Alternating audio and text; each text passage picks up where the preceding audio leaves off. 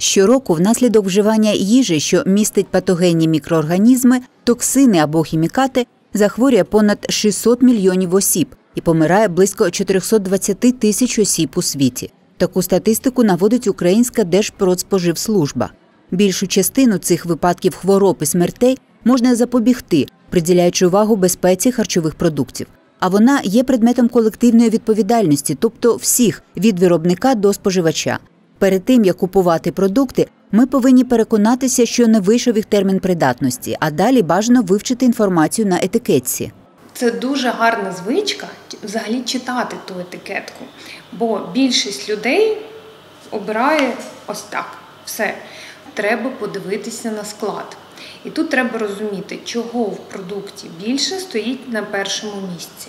Якщо ви обираєте цільнозерновий хліб, то на етикетці не повинно значитися 20-30% цільного зерна, а повинно стояти 100% борошна цільнозернового. І такий хліб є в достатку, зазначає ендокринолог і дієтолог Марія Жигаліна Гриценюк. По-друге, цукор.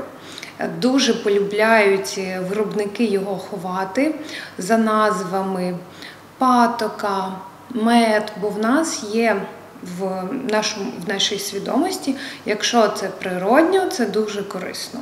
І тут треба розуміти, що і те, і те калорійне, але мед трошки більший калорійний, і там е, він тяжчий. Лікар радить вивчати таблиці жирів, білків, вуглеводів і цукру на етикетці. На день цукру дорослій людині можна 30 грамів. А якщо ви купуєте томатний сік, томат це помідор, це овочі, це корисно.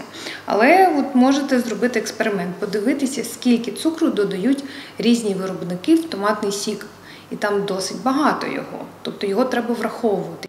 Щодо пальмової олії, у натуральному вигляді, як рідина, вона не несе ризики для здоров'я. Коли її насичують водним, гідрогенізують, олія стає твердою, продукти з нею довго зберігаються, але при цьому проявляються небажані якості трансжирів. Якщо ви бачите якась олія гідрогенізована, то це трансжир.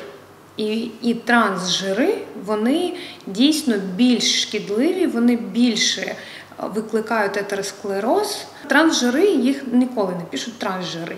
Е, пишуть кулінарний жир, модифікований жир, е, олія гідрогенізована, модифікована.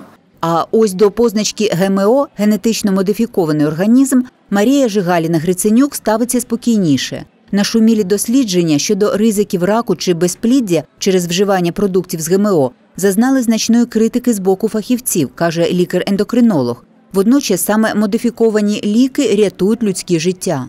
Найчастіші зараз інсуліни це генно модифіковані. Ніхто не хоче вже працювати з свинячим, бичачим, е, людським навіть інсуліном. Найкращі інсуліни аналогові, генно-інженерні інсуліни. Генна інженерія дає шанс в багатьох галузях медицини. Є області, де ми кажемо вау-вау клас, а все те ж саме в їжі, що це погано. Ну так, так, так не працює. Отже, розуміння етикеток харчових продуктів має важливе значення для прийняття здорових і свідомих рішень щодо споживання, підкреслюють фахівці.